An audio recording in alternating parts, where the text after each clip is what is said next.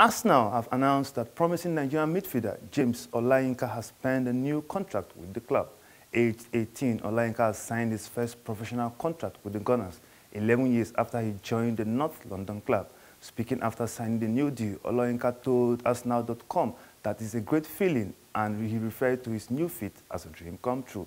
Olayinka was a key member of the Arsenal under-18 squad that faced Chelsea in the final of the last season's FA Youth Cup, going the distance in both legs against the eventual champions.